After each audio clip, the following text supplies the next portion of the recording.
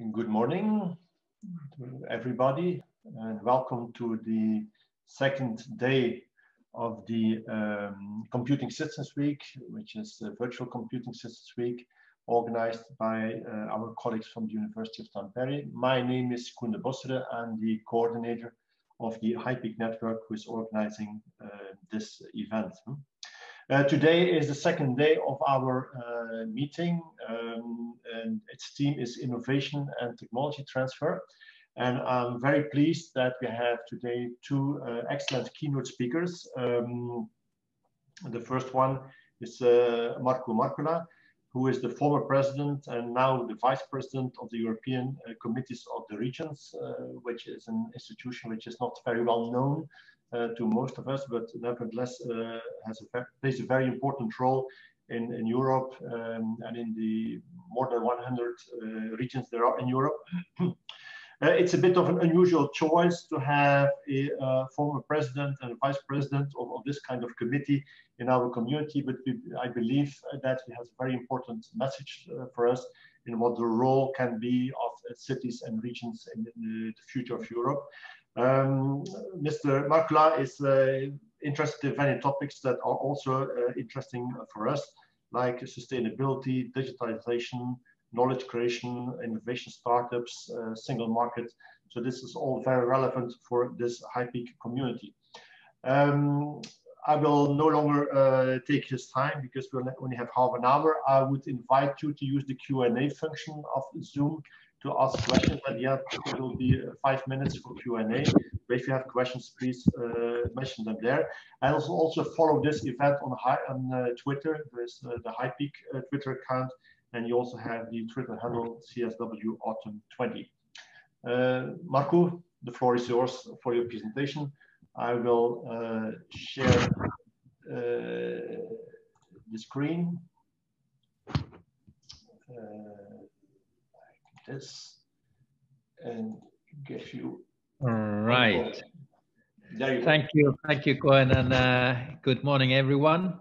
So I'm really uh, pleased to have a chance to deliver you uh, this uh, keynote. So it's more about the role of cities and especially the changing role of cities and looking on that, what are the critical success factors when we are moving to have more and more of what we today call place-based uh, innovation ecosystems and how we can use that in, in, providing the services. And of course, digitalization plays a crucial role on, on that. And this is important, I think, for you as well, so that to see the uh, bigger picture, the frame for your own activities. And I think this is, uh, from that perspective, this is relevant. I will go through my presentations uh, quite fast. Uh, I'll stop a bit more on some of the slides and go through some of the others uh, faster. And, uh, and uh, then I provided this uh, set of slides for your information as well. but let's let's start this so that we can look the the overall situation if I will, let's say, get the slides moving on. Not yet, but uh, let me there, Koen is, is fixing that. So uh, uh, first that uh, this week, already at the previous week and the next week, it's a special European Week of Regions and Cities. And uh, on that, so I have had the chance to participate as well in our own Committee of the Region plenary. Uh, we have uh, more than 300 members, mayors, regional presidents, councillors from all parts of Europe. And there, in addition to the plenary where we had, among others, Ursula von der Leyen, we had Angela Merkel addressing, and several commissioners. So we have had uh, this week several seminars as well, and I took one of those slides, uh, uh, modifying a bit so that giving kind of in this in the beginning already uh, uh, the clear message. What are my key messages for you? And uh, I think this is especially relevant since the, the role of cities is really changing very much the whole Europe is more to be seen as a bottom-up activity because the action uh, dealing with uh, climate change or now tackling COVID or whatever activities, it's re really concretely there on the level of cities. And when I talk about cities, I'm not talking about the authorities as such, but I'm talking about cities with all their citizens, meaning that the role of universities, research institutes, industry, large and small, all different communities. That is crucial for the city, and city is kind of orchestrator of these activities. And uh, as I hear with these uh, key messages, I define it very strongly that digitalization it's actually happening very strongly right now, and I think this COVID crisis, pandemic, shows us that we need to do more in our own daily practices as well as digitalization, as we are doing in many of our cities uh, around Europe. So we are embedding that in our all processes, but it's not keeping the processes as, as such, but we it changing. And that's why these uh, other four uh, key messages, place-based ecosystems, we look all the time value and value networking. We uh, want to catalyze uh, different kinds of innovations, not only technological or social, but societal. So changing the rules and procedures, decision making as well. We focus more on encouraging entrepreneurial mindset. Uh, we do experiment uh, testing, rapid prototyping, and then scaling up all these and all the time looking more and more what added value we can get uh, through European collaboration and partnership. And uh, uh, then when we look looking here, the, the, let's say the traditional role of cities, uh, it was providing services in taking care of the needs of citizens, like building the infrastructure, providing schools and healthcare and other services. But that's not anymore the case since uh, the uh, globalization and of course digitalization have changed so much. Cities really cannot afford all of those services that the technology or business practices are providing. And that means that uh, cities need to build the future more on the local collaboration mentality and partnership. And if we move further Yes, here I took another example of this week, actually yesterday, uh, the Joint Research Center with the EIT Climate-KIC, they can uh, announce that they are in the process to have soon ready the handbook, how to do the co-creation.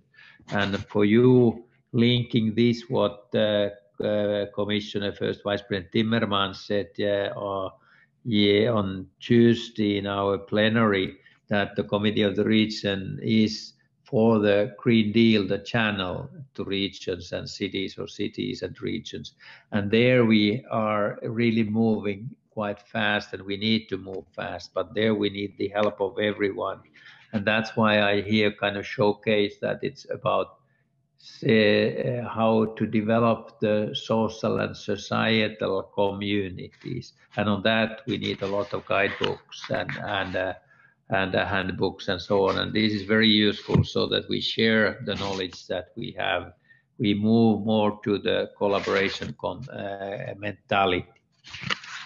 All right, uh, let's try to move. Yeah, here I took an example so that the the Joint Research Center, three years ago, they made the, their first uh, kind of guidebook or documentation analytical study on what does place-based innovation ecosystem mean, and that was, let's say, my community, what we call the Espoo Innovation Garden. Espoo, the uh, second largest city in Finland, part of the metropolitan region, and uh, that is really strongly operating uh, the city with the Aalto University, with the Technical Research Center of Finland, and a lot of of, of, uh, of the different companies, head offices of many international companies are are here in our let's say the core area of Espoo Innovation Garden, which is uh, or part of that is the Aalto University campus, part is, is the industrial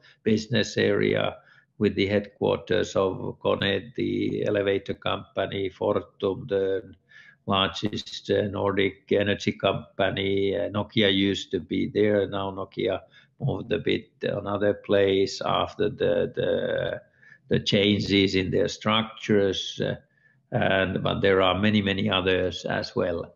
And here are a few of the key, let's say, success factors that the uh, Joint Research Center study wanted to highlight so that uh, this is an example. We have more than 100 different nationalities there. It attracts a lot of talents as well. So, so it's really a, a place, uh, and actually place next to the sea, uh, Espoo. Here, yeah, you can move to the next slide as well. So here I want to show that a bit more about the Espoo kind of uh, frame for that. So the, the blue on the uh, bottom up, so that is the, the bottom side, so that is the sea. We have the archipelago Gulf of uh, Finland in the Baltic Sea. We have uh, in Espoo 165 islands. Uh, we have the seashore more than five, 50 kilometers. And in the north, we have the national park.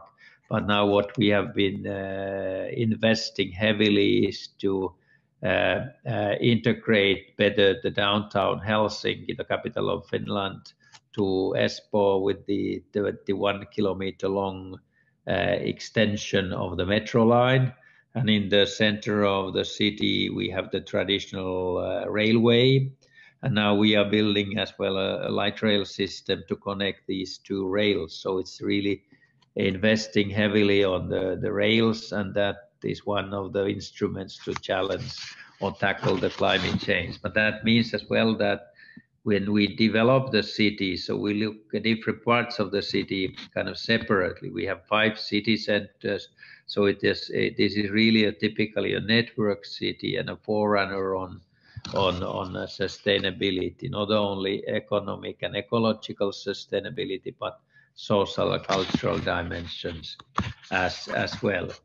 Uh, key questions in my next slide. So then I have there, so uh, the uh, because if you look as well from the digitalization perspective, I think you could and should go through these questions as well. So where does the digitalization play a crucial role? I just started to to write the questions, and most of them are questions of how. So it's not uh, about that we would not know, or all around in Europe, we know where we want to go more or less, but how to get there and how to be, let's say, instrumental in making this transformation uh, to to happen. And there, uh, even today, when we are tackling the COVID-19, so we should actually see the climate issue with the same emergency. So strong commitment, not only produce papers, but move actions to actions everywhere. And that means the, the mentality, the mental change and as well. And so that means that we need to be able everywhere to answer these questions. I'll, I'll produce a few uh, answers to those. Uh, and if we move now to the next uh, slide, uh, this is uh, what I was involved a couple of years ago with DG Grow and uh, with several consultancy companies and experts from around. And I think this summarizes very nicely the, the need for accelerating the digital transformation.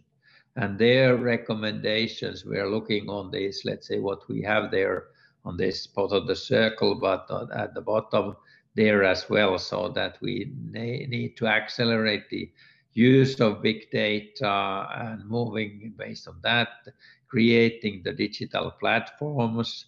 Actually, they are very much close to this uh, place-based innovation ecosystem idea. Then we need to reskill the workforce, digital skills especially, and then what I highlighted with yellow, the cities and city-driven regions, they are and should be more and more kind of launch pads for digital transformation. And on that, we need different instruments, handbooks, tool, toolkits uh, to operate as ambassadors. And you should look, review that as well. Um, how to do that? So let's take the next. I think this is crucial as well. So city, we need to see the city in, uh, uh, let's say, different systems.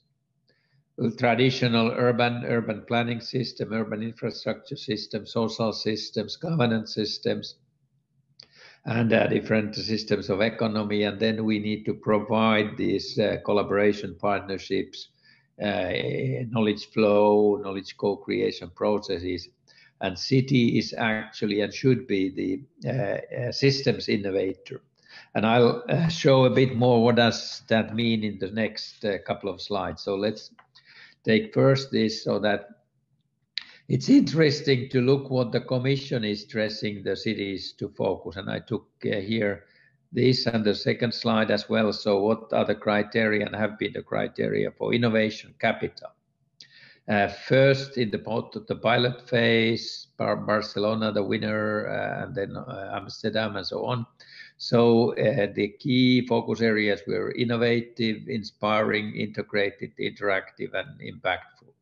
So Im impact and influencing is the key. And if we take the next slide with the with the criteria used uh, now the recent years, so it's kind of moving further on from those uh, inspiring innovation elements to experimenting, engaging citizens and industry, universities, researchers, all and expanding the, the let's say the scope and responsibility of cities potential role to attract and uh, make this transformation a reality. So this digital transformation reality. And that means empowering. And on that, uh, again, uh, a couple of the slides about that. So what does that really mean? Here first, uh, I, I, kind of take this slide in a, a, couple of layers. So first I was looking that I did this already a couple of years with a, a good, interesting team about ecosystem orchestrating orchestration. It means about networking uh, centric working culture, ecosystem architecture, targeted or, or orchestration of all operations, and collective value creation. And when I have the map of the Europe there back, so let's click on the next uh, elements that I bring to that. So that's kind of management capabilities, looking as traditionally management is looking inside the system, inside the organization, and that fits to the city or whatever business organization as well, and linked to those. So it's more really user centricity, concept development, uh, innovative core processes. So developing the processes with digitalization and then networking engagement. But if we then, then uh, take the, let's say, the a bit more modern look with uh, clicking that uh, further, so then we come to the leadership aspect. So leadership needs to look much outside the box or outside the organization.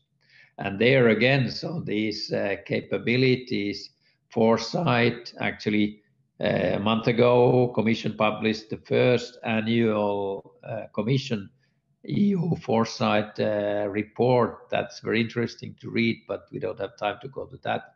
And then there is, of course, sustainability, kind of life cycle agility, and cultural fostering. And this needs to be, we click one more, so then kind of how to integrate this, how to move to the next phase. So uh, go and go ahead. So one more, yes. Because now when we integrate this, so start seeing the organization, whatever, if that is a company or if that is a university or city, it needs to be seen as a globally operating innovation platform for joint, uh, what I say here, especially university society interface operations. So we need to react and get the others outside the, the organization to assist in the process. And I, I've used this quite much in thinking uh, different aspects, what are the change processes, especially from the perspective of change management. And then moving ahead to the other parts of the slide. So here defining, uh, giving uh, ideas for thinking. Uh, so a systematic approach to the challenges. I took here three major angles and four major elements or actors in each of those. So seeing the, we don't, uh, we are not allowed to operate in a silo anymore or our own sandbox. We need to city as a living environment, working environment, learning environment, but as well as a digitalized innovation platform. Or then we need to co-create synergy between these different actor groups, and we need uh, to look the working environment, how that is creates conditions for change management. And again, their digitalization is the strong support instrument in experimenting, piloting, rapid prototyping. And I have the SDGs there on the so showing that we need to have the broad responsibility. Couple of more slides. Uh, uh, so City as a platform, the Technical Research Center of Finland already several years ago made uh, analysis of that. So what does it mean? And especially on the right side, you have the open digital sandbox. Uh, so to element provision of open public data and interfaces, facilitation of smart service development, creating these digitalized innovation platforms, and promotion of standards and interoperability.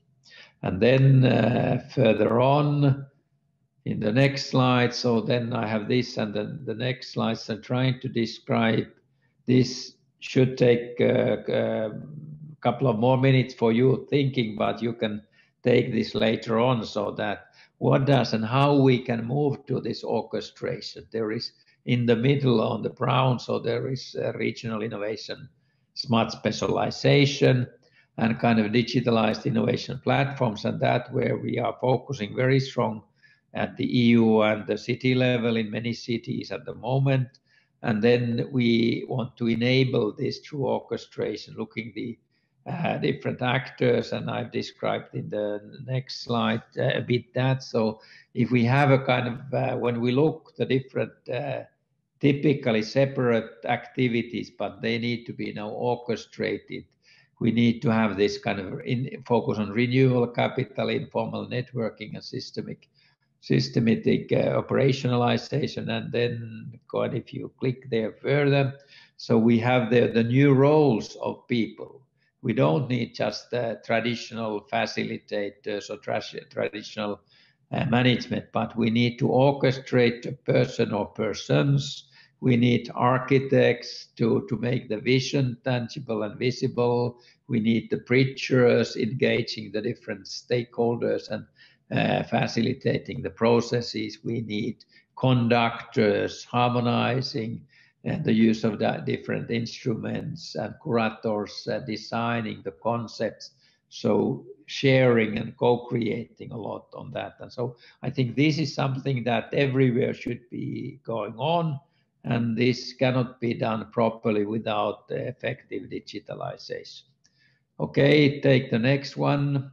Here I just kind of summed up so that these are not new activities as such. Already I looked the time two and a half year period when I was the COR Committee of the Region President.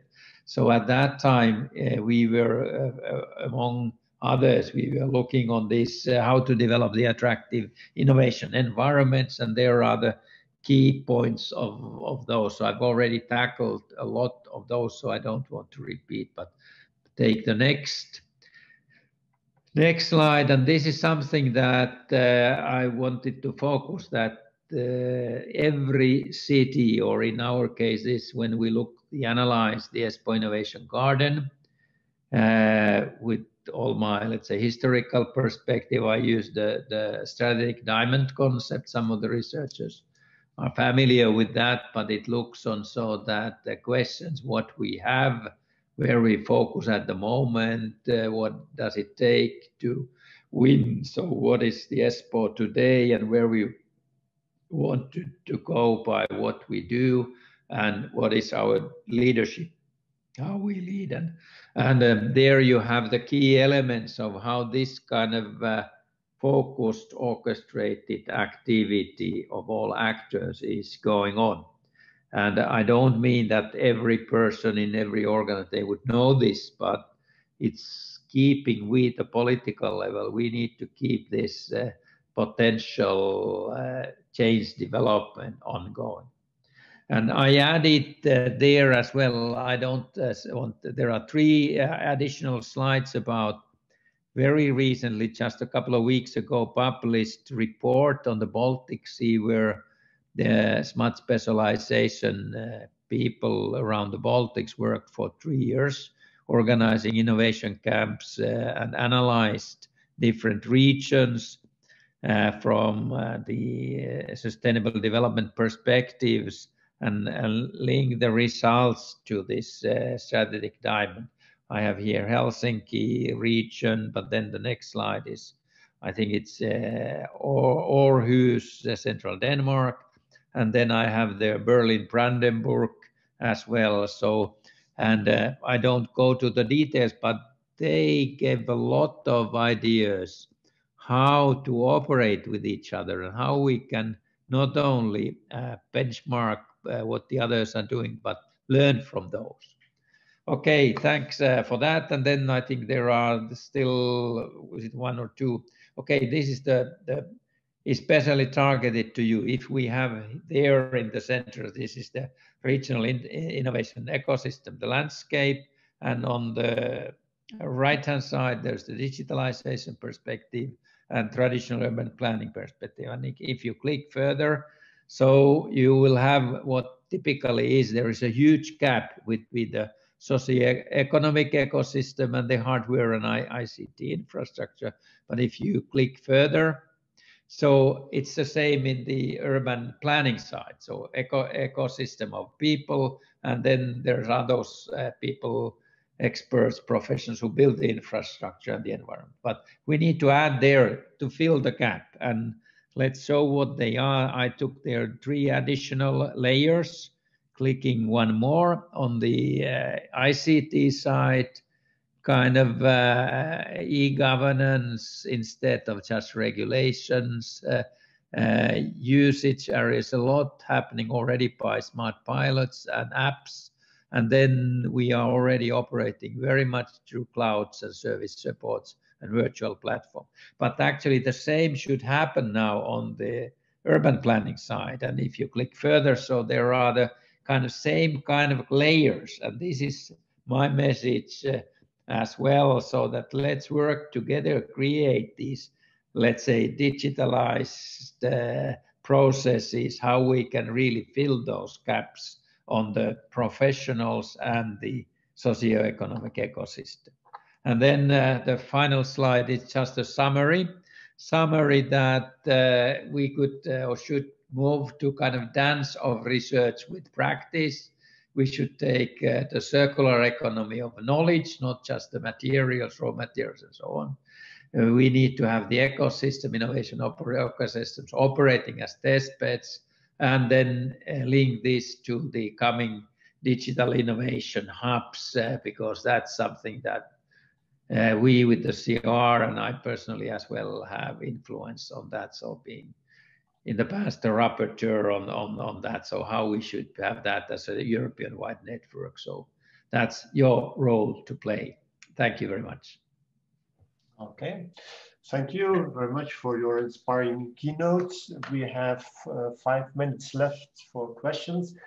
Um, first question I would like to ask is, what is, according to you, the biggest challenge um, for a city to start this kind of um, vision implementation, whatever? Uh, is it creating the vision? Is it the money that you need in order to do things? What's the biggest challenge? Um, it's not actually the money. Money, of course, uh, is is good uh, supporter for the change and needed in the transformation. But uh, the the key is really the the mentality, the mindset seeing that in each city we cannot solve the problems by ourselves. We need to share the practices. We need to start this kind of bench learning or bench acting. So with the other cities uh, and uh, we need more experts, uh, but as well the political decision making, both the mayors and mayors level and the board level, city council levels. We need to take this as a learning process our, ourselves, and that's an ongoing. Uh, luckily, in most of the countries, so we have the election system, so the same people operate for four years or in some case five years or so. So we should build that the kind of roadmap for the learning and how we start operating this way, encouraging the, the as I said, the citizens, industry, large and small universe to be operating with us. And, and does the Committee of the Regions help the cities? Yeah, we do, and especially now uh, during the last five years, we've increased a lot collaboration with the EU Joint Research Centre with them uh, when they their role is to support through research they have close to 3000 researchers on their payroll their role has to be to to support the, the political decision making by the commission and recently uh, support a lot the parliament but now more and more kind of science meets regions activities with the CoR so we are operating much with that uh, we've uh, with the Joint Research Center, we've developed further the concept of innovation camps. They provided a handbook on that. We, with the DG RTD, we have an ongoing activities, what we call knowledge exchange platform. So operating on that. So that was launched uh, when Carlos Moedas was the commissioner and I was the president. So we kind of looked forward what is needed and that we need these instruments and we need then both the recovery funds and the, the uh, cohesion funds to target it to support this transformation. There comes the money, EU money is just one part. We need to integrate public and private financing, both national and local, to that as well. Yeah. And then I have an, uh, a last question. So you know that we are a network, so we are not regional. we are all over Europe, and uh, we are uh, well, academics and people from industry, mostly researchers from industry. What could we do in order to help in this process? Do you have an advice for us as a community? we are not. Yeah, I, yeah thanks. Uh, I have uh, my own engineering background as well, so most uh, practically close to all of my life were from the start, time of, uh, when I was a student in the Helsinki University of Technology. I've been a member of the city council as well, and and uh, I would say that definitely we need more of this interaction, kind of joint uh, activities, and that's why I think Maritz is going to talk about these digital innovation hubs, and that was something that we saw that we need to bring the research knowledge and researchers operating closer to the political decision making. I think that is something that we could share share a lot. So because technology is an enabler, digitalization is an enabler, but it needs to be uh, embedded and seeing how to have the processes so that the, the, the digitalization is not just uh, keeping the traditional working processes uh, operating as such, but renewing the process culture. Okay. So I think we can end the Q&A session here. So I would like to thank you very much for your inspiring keynote. and um, and I, well, I hope you will take your good advice and, and start working on it or continue working on it.